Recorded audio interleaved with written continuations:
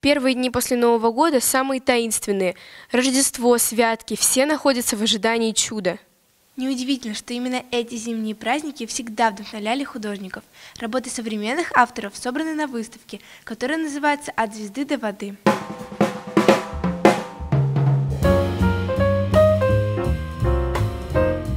Работы на тему Рождества здесь можно найти?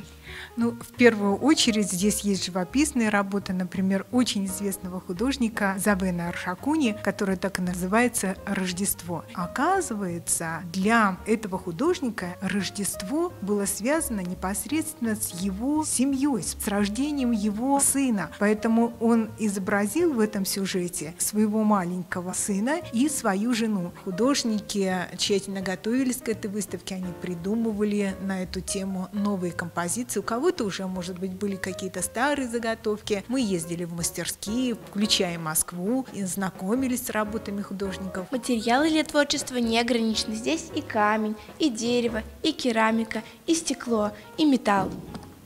А вот эти работы – ткань и ручное шитье – выполнен вдохновителем выставки художником Мариной Азизян. Марина Азизян – это очень известная петербургская художница. На ее счету огромное количество работ, сценографии, посвященной различным фильмам и спектаклям. Она, объявив об этой выставке художников, очень тщательно проводила отбор. А почему выставка называется «От звезды до воды»?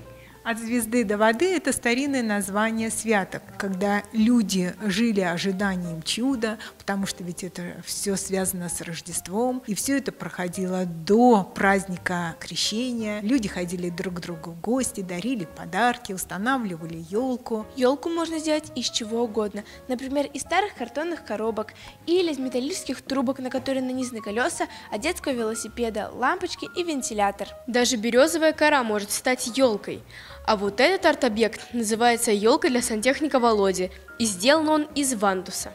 Этот зал является собой образ сказочного леса. Видите, какое огромное количество елок здесь растет. Причем елок очень необычных. Это елки, которые обретают фантастические формы. Елка башня,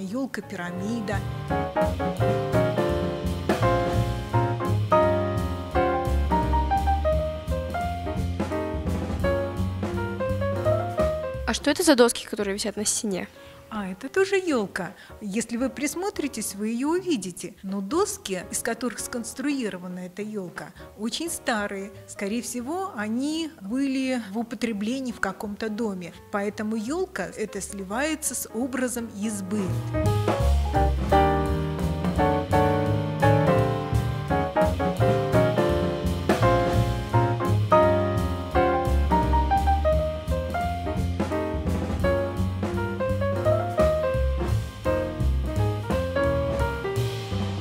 Вот приду домой и тоже сделаю себе какую-нибудь необычную елку. Идеями к Рождеству вдохновились Мария Барковец и Яна Глушецкая.